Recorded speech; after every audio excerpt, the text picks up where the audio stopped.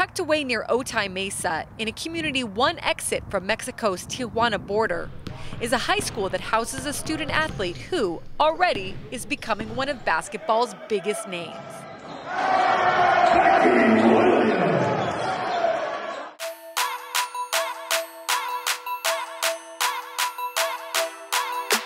Mike is the best ninth grader I've ever seen. At 14 years old, Mikey Williams was named the best player in the nation by the Naismith National Youth All American Report. At 15, he's turning heads at San Ysidro High School, breaking records and receiving advice from NBA superstars. I first started playing basketball, I was like three or four when I started playing like organized basketball. And then I've always just been in the gym since like I was a baby, so it was just kind of, you know, just part of me. When did you know you were good?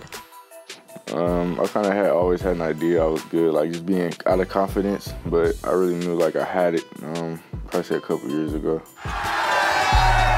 The six foot three point guard is described as a calm, selfless player who commands the court with his high basketball IQ and strong vision. This season against Kearny High School, Mikey put up 77 points, breaking the San Diego section single game scoring record.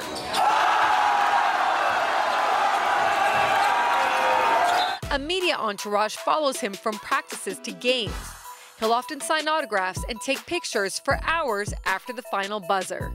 It's crazy. All you hear is Mikey, Mikey, Mikey. I mean, grown ups, old people. I, I wasn't part of the Beatles, but it's like being in a rock band. A lot of people ask him for autographs. One time somebody asked him to sign their forehead. He's just a lot of pictures, a lot of autographs. The crowd goes crazy. I've known Mikey for around three, four years. Great player, awesome teammate. You could tell some people think he's probably like, oh, popular kid or like doesn't want to talk to him, but once you get to know him, he's a friendly dude. Very goofy. He lets none of this like camera stuff face him. He just wants to go hoop and do, do what he does. Mikey has already been offered college scholarships by more than a half dozen schools, including San Diego State University, the University of San Diego, and USC. While in a club league the last few summers, he found himself first playing against LeBron James' son, Bronny, and then alongside him as a teammate. Who did you grow up watching, and did you idolize anyone? Did you really want to play like anyone? Uh, LeBron James. It's, it's crazy because, you know, I used to watch him all the time, and, you know, now it's like we're family, so it's like I get to, you know, talk to him about anything and stuff like that. I just wanted to be like him so bad but now I get to like you know take notes from him. And, you know, I just try to. I like the way that he carries himself off the court. He deals with a lot of things, so I really try to you know be like that off the court. Okay, I want to talk about that because you have some famous friends. What is that relationship like? You know, it's real special. I always say game recognized game. So we played against them. Uh, we played against Bronny. Um, I think I was 12, sixth grade at uh, nationals, and you know I got to talk to him a little bit after the game, and you know he was telling me like, you know, basically like keep my head focused. I can you know be playing with him one day, this and that. And, you know I was like cool, blah. But it didn't really hit me, you know, for like a couple weeks. And then um, the following year I played with I played with Bronny, so I really got to talk to you know I got to talk to him a lot more. You know, just him being there, and then you know after that it was just family. How crazy is that? I mean, it's LeBron James, you know. a lot of people ask me that, and it's not really, you know, crazy no more. Like I'm not downplaying mm-hmm. him or anything at all. Like I just I respect him, but you know, just how close we are, just your family. So it's like, you know, it's kind of, you know, it's not normal for like the average person or individual, but you know, just the relationship we have now. It's like, uh, it's just I can't really I can't really describe. It's just kind of normal for me. That laid back attitude isn't an act, it's who Mikey is. He keeps his circle small and his dreams big, and it's why, despite the spotlight, the constant pressure of grinding toward his goals hasn't cracked him. Does it feel like pressure at all to you? From the outside looking in, you think it's a lot of pressure. Like, yo, he has to deal with a lot of things, this and that. So I love doing it, so I don't really see it as pressure because, you know, there's like, I asked for this. You know, I mean, I didn't you know, I didn't ask for like all the fame and stuff like that. I just I worked I worked my butt off to just be in the position I am right now. So I would really look at it as you know like as pressure like that. As good of a basketball player as he is, he's a better person. He's like an old soul, and that's his parents. At home, he fights with his brother and sister. I'm constantly yelling like, "Stop! Gonna break something. Mike, do your laundry. You need to clean your room. Uh, I need you to cook dinner tonight because I'm stuck in traffic. Um, you know, he's a regular kid. He just he doesn't get any pass. Like I don't care. We don't care about your fame, your followers here. Like that's what it is. Um, but we do make sure that we don't overload him because we know that he kind of like is doing a lot more, you know, to reach his goal. But you know, we we do. You know, he he gets yelled at.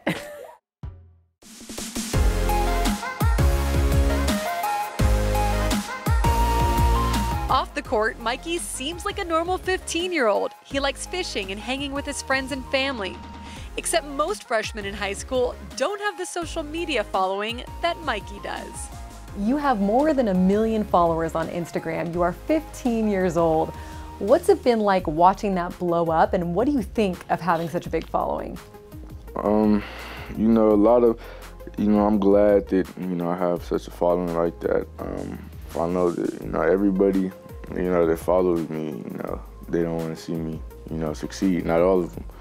Yeah. Um, a lot of people want to see me fail. A lot of people would be cool with you and still want to see you fail. So that's why, kind of the way I am, where I kind of keep people at a distance.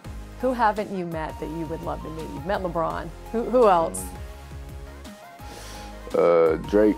You know, Drake follows me. He's funny. He follows me on Instagram, but I haven't, you know, I haven't him to anything yet but it'd be cool to meet him. Casual Drake following you on Instagram. It's no big deal.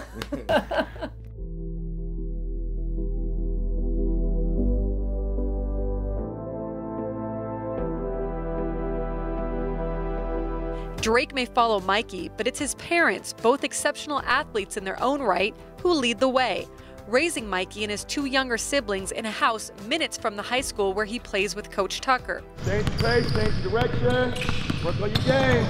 Mikey's father, Malon, coached with Tucker at Crawford High School many years ago and promised him that when Mikey was old enough, he'd play for him. Malon kept his word, and the added benefit for Mikey is representing the city that he calls home. You know, I just want to put on for my hometown. You know, no matter if it's two, three, or all four years, you know, like a lot of people, they'll leave, you know, be quick to leave them before they get to high school. You know, they'll just start panicking, like, oh my God, I have to go to the best school in the country. You know, to be this and that. But it's like, oh, everything's just, everything's going good, and you know, I want to put on my city. I think it's definitely loyalty. You know, we, I'm born and raised San Diego. Um, Malon's been in San Diego for, uh, you know, three quarters of his life. So Coach Tucker, you know, I met Coach Tucker when I was pregnant with Mike. So, you know, Terry's just like family to us. And so, you know, being able to stay in San Diego and then play with Coach Tucker, it means everything for us to be able to elevate our city, to have the platform we have and just be like, you know, bring so much attention to our city because we think it's important. We want to make sure that San Diego has something to look forward to and let the kids here know like, you know, no, like we're on the map. Mike's always been like super mature. We also have to keep in perspective, like he's a kid. So um, the driving force, like it's just him. He goes, he he just wants to train. It's, it's his goal. Um, Malon and I, I think with our experiences, we're able to um, know what it's like and be sensitive to him when he starts to wear down or when we notice like, okay, son, this is what you want. So I, am gonna need you to uh, do better on defense. I'm gonna need you to work harder. You need to do like a few more extra jumpers because I notice in the fourth quarter your shot gets flat. So we keep it 100% real with them. Mikey may only be a teenager, but he realizes the road ahead of him comes with responsibility. Like even right now, like, you know, I'm a role model to a lot of people. So a lot of people, you know, look up to me and, you know, I affect, you know, I, I notice like I affect a lot of, you know, a lot of people like in a good way. So, you know, as I get older and, you know, you know things just keep getting bigger, you know, I definitely want to have a say in some things, you know, like whether it's like I want to, you know, donate money to hospitals or, you know, uh, help homeless people or, you know, just things like that. I try to, you know, get back and sign, you know, sign autographs, take pictures, you know, like text kids back on Instagram and stuff like that, you know, just so they can have the feeling. Someday, maybe even soon, kids around the world may want to be just like Mikey. Can't really, can't really, you know, tell what the future holds. I have an idea, but you know, just everything is just pushing forward. Don't take no steps back.